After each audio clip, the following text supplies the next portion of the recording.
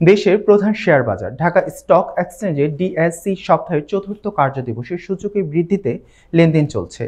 তাতে লেনদেন শুরু প্রথম দুই ঘন্টায় ডিএসসির সব সূচকে ইতিবাচক প্রবণতা দেখা দিয়েছে। আলোচ্য সময়ে লেনদেন হয়েছে একশো ছিয়াশি কোটি টাকা, যেখানে গত কার্যদিবসের একই সময়ে একশো কোটি টাকা লেনদেন হয়েছিল।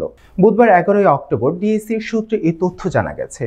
সূত্র মতে, আজ ডিএসসির লেনদেন শুরুর দুই ঘণ্টা পর, অর্থাৎ বেলা বারোটা পর্যন্ত, ডিএসসির প্রধান সূচক বা ডিএসই এক্স চার দশমিক পাঁচ চার পয়েন্ট পেরে অবস্থান করছে ছয় হাজার দুশো একান্ন পয়েন্টে প্রধান সূচকের সঙ্গে সরিয়া সূচক বা ডিএসইএস দুই দশমিক বারো পয়েন্ট বেড়ে এবং ডিএস ত্রিশ সূচক এক দশমিক ছিয়াশি পয়েন্ট বেড়ে যথাক্রমে এক হাজার তিনশো পঞ্চান্ন এবং দু হাজার একশো আটত্রিশ পয়েন্টে অবস্থান করছে।